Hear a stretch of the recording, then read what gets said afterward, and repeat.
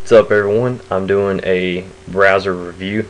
Um, the internet browser, which one's best, which one's, you know, uh, what capabilities and what cool things these, each one has, the pros, cons, why I chose, the, you know, why I chose it. Um, coming in last is Internet Explorer, just because um, I'll click it.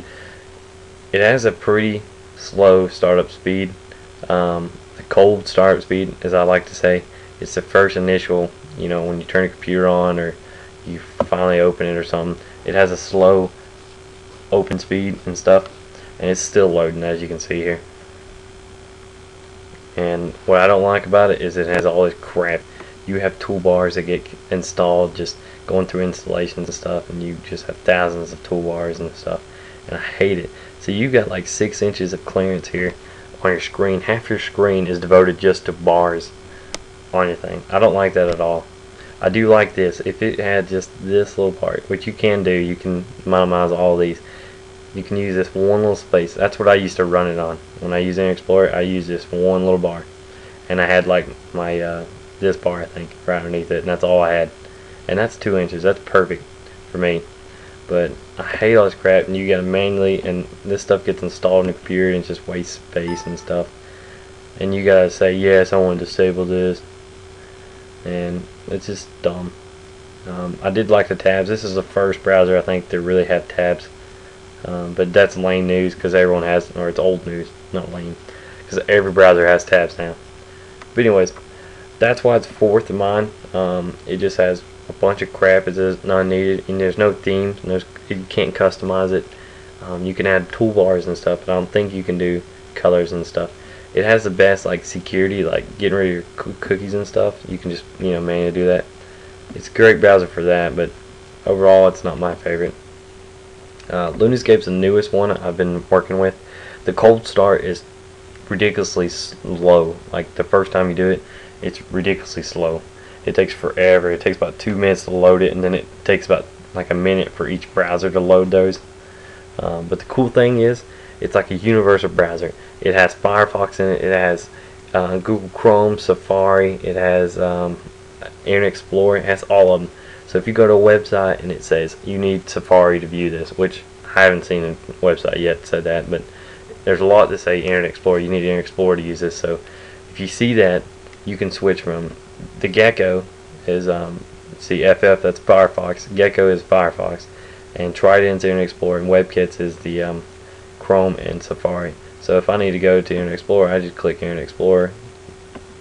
And what it does is it just switches over to Internet Explorer. And it didn't it didn't take too long. Um, the first time you switch them and stuff, the cold start, as I say, um, it does take a little longer. And switching back and forth, switching Internet Explorer and WebKit, or yeah, I think WebKit is the slowest or the fastest, and then Gecko is the slowest because Mozilla is a, a hog performance, but it's the best because you can customize everything about it. So, and it has RSS feeds. If you like a, a certain newspaper, you can get the RSS feed and put it up here.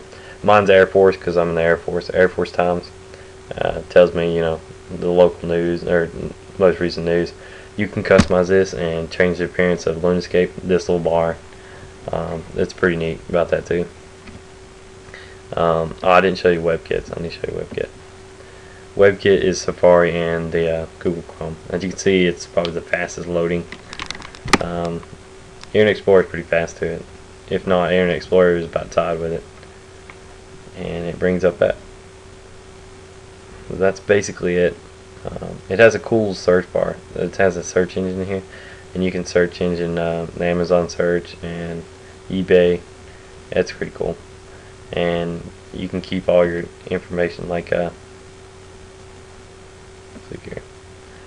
Um, the applications for Mozilla, all that transfers over, and you have to. It switches. It has to switch to use those applications um, for your apps on uh, Mozilla. Yes, you go back to Mozilla. What's I don't like about it? It's a little slow. Um, my favorite, well, second favorite, Firefox is pretty good. Um, this is my initial browser. I use this forever. I had it for like an hour, or a whole year and a half. I had it on my flash drive. I love this so much. I'd go to school, plug it in my computer, and I'd use the, the mobile edition of Mozilla, and I loved it. Because our school, one thing it used was Internet Explorer, and I loved my Mozilla. Every everything about this is customizable.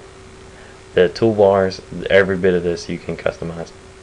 And it has a sleek appearance. It's nice. I like this because it kind of organizes everything. It's a little bookmark bar and stuff. It's really neat. And you can add any application, any, you can do NFL, everything. You can do all that. You can change like NFL thing. You'll make this like a football and this a field goal or something like that. It, it's just cool. I like Mozilla. It just takes the initial. It takes about 20 seconds. It has the the, um, the best average load ups from cold to warm, as I say. Um, startups, you know, it'll be the same every time. It's very, very consistent and very stable. It doesn't it doesn't crash as much. Um, this crashes. Um, it's right underneath the Internet Explorer, but it's uh, above Lunascape. Um, it crashes not as often as a lot of browsers, but it's pretty pretty reliable. So, and they patch everything, so it's just continually getting better and better. But anyways, if you're wanting a customizable browser, this is the one for you, and um, pr pretty good performance. Um, I would say about average to a little bit better uh, performance as far as startup and you know doing everything. My favorite as far as performance, I'm a performance freak. Um, cars, I want to go fast. I want to do everything fast. I want to multitask, and um, that's what I like about Chrome. Chrome takes like two seconds. There it is. It's already loaded. It's extremely fast. It's slim. You you know, I cut out all the crap, all that stuff, and it's just a slim, good little bar. Brings up your most favorite uh, cool feature. It's got a back. Uh, you can change the themes, backgrounds. Um, didn't have a lot of themes. This is the best one out of all of them. Not a big Force fan, but it's pretty cool. And it ties in with Google. You can just start typing it. Nikon 3100 and it Googles it. Saves you a little time of cooking it, uh, typing in Google. Um, it's just neat because you can just start Googling stuff and you'd be like, a lot of times I'd find myself whenever I was on Mozilla and stuff, I'd start typing in stuff and I wouldn't be using Google and I'd be like, oh crap, I need to go to Google. And what this is, you can start typing this in, just push enter. And then YouTube. As soon as you start typing YouTube, you can push tab and you can search YouTube. And you just start typing Nikon, 3100 and it'll search YouTube. like a shortcut, pretty much. Overall, it's fast. It's extremely fast. Um, it's my fa It's a, one of the fastest browser. It's really reliable. I've only had it crash on me like maybe three times um, when I was working, and most of the time is because I had like a hundred tabs open, and it's just insanely fast. I love it.